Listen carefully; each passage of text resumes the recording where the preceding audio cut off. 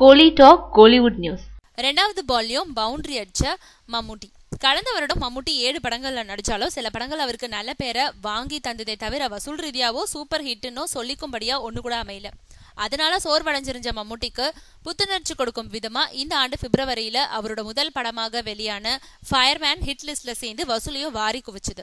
தொடர்ந்து இப்போ மம்முட்டியோட ரெண்டாவது படமா வெளியாக இருக்கும் பாஸ்கர் தி ராஸ்கல் படமும் ரெண்டு நாட்கள்ல மூணு புள்ளி பத்து கோடி ரூபாய் வசூலிச்சு ஹிட் லிஸ்ட்ல சேர்ந்திருக்கு. கோடை விடுமுறை துவங்கிட்டதுனாலயும் பெண்கள் கூட்டம் அதிகம் வர்றதுனாலயும் பெரும்பாலும் பல தேட்டர்கள்ல ஹவுஸ்ஃபுல் போர்டு தான் மாட்டப்பட்டிருக்கான் எப்படியோ சிக்ஸர் அடிக்கலனாலும் ரெண்டாவது பந்தயம் வீணாக்காம திரும்பவும் பவுண்டரியாவே அடிச்சிருக்காரு மம்முட்டி.